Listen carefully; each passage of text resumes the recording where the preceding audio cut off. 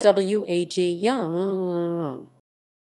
Sir William Alexander George Young, c. 1827 25 April 1885, was a British colonial administrator who acted in an interim capacity as governor of Jamaica in 1874, and later served as governor of Gold Coast from 1884 to his death in 1885.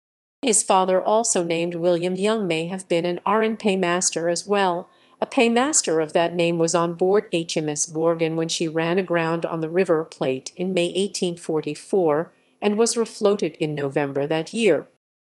Naval career W. A. G. Young enlisted in the Royal Navy in 1841, aged about 14 as a midshipman clerk, rising to purser, paymaster, and secretary to two commodores over the next ten years. Young's seniority as paymaster dates from deck 28 1853. In February 1855, Young was paymaster on the brand new screw corvette HMS Harrier 1854 in Portsmouth, although the Harrier article says she was in the Baltic from 1854 to 1856. The August 1855 edition, starting about halfway down the PDF Feb. 1855 edition, states that Harrier was in the Baltic, and Young was not on it because he had joined the flagship.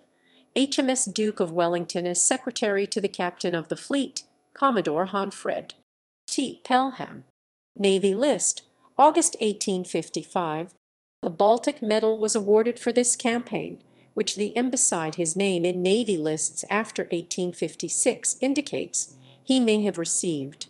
And William Young did indeed get a medal, P 337 of Deck 1857 Navy List. Navy List June 1856 on P 323 he is serving on Ship 69.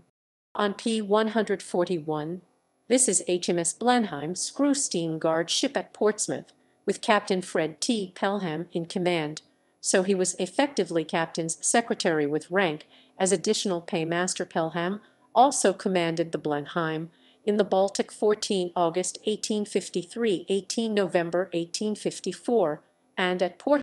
In July 1860 William A. Young was appointed additional paymaster for special service on board the paddle sloop HMS Hecate.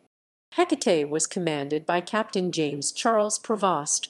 R.N. Young, as additional paymaster, was probably doubling as captain's secretary, a job held by the ship's purser in the past. Captain James Prevost was one of the three British commissioners, two maritime, one land-based of the joint Anglo-American Northwest Boundary Commission. The commission was established in 1856, according to the terms of the Northwest Boundary Treaty signed in 1846 between the U.S. and Britain to survey and define the border between British and U.S. territories in the American Northwest Pacific region. The U.S. Commission was under the leadership of Joseph Harris. The Hecate sailed from Portsmouth in September for New Caledonia, arriving in Victoria, Vancouver Island in June 1857. New Caledonia was not much more than a loosely defined trading area with a population of about 100 administered by the Hudson's Bay Company. The massive influx of some 20 to 30,000 people, mostly American, during the Fraser Canyon gold rush led to James stationing a gunboat HMS Satellite, commanded by Captain James Prevost at the mouth of the Fraser River, although he had no legal authority outside Vancouver Island. Legislation was passed in the UK designating British Columbia a crown colony on August 2, 1858. Young began assisting Douglas with administrative business that was his job in the Navy after all, and he was temporarily appointed colonial secretary of the colony of British Columbia on 3 March 1859. William Young seems to have fairly busy ashore. Young appears to have still been drawing pay from the Navy while only loosely assigned to Hecate. In March 1862 Young was still in Hecate, but by December that year he was listed in that year's Navy list as unemployed. Hecate was fitted out for survey operations and assigned to the Pacific Station in 1860, where she surveyed the British Columbia coast. Hecate Strait is named for her. She went to the Australia Station in 1863. In 1865 the Navy relocated the headquarters of its Pacific Station fleet from Valparaiso, Chile to the Esquimalt Royal Navy Dockyard in Esquimalt Harbour, Vancouver Island.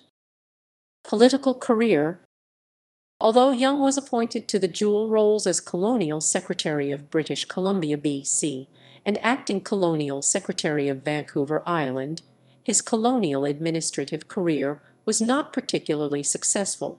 The position of Permanent Secretary of Vancouver Island was never confirmed. Vancouver's and B.C.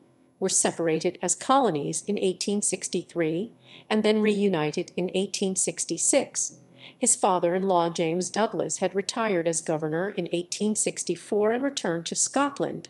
They kept close ties. Young seems to have been unjustly elbowed out of his temporary administrator's appointment by 1869, for which loss which he was never compensated. He was appointed financial secretary of Jamaica and returned to England after an attack of yellow fever in 1872. Five years later, in 1884, he was named a CMG and appointed governor of the Gold Coast in Africa. He died there on 25 April 1885. Family William Young married the new governor's stepdaughter, Cecilia Eliza Cameron Cowan, on 20 March 1858. Two of their sons had distinguished careers of their own. Alfred Karney Young 1864-1942 held judicial and political offices in numerous colonies, serving inter alia as Chief Justice of Fiji. William Douglas Young 1859-1943 became governor of the Falkland Islands. Their daughter Mary Alice married Frederick Mitchell Hodgson, who later became governor of Gold Coast, like her father equals equals references equals equals equals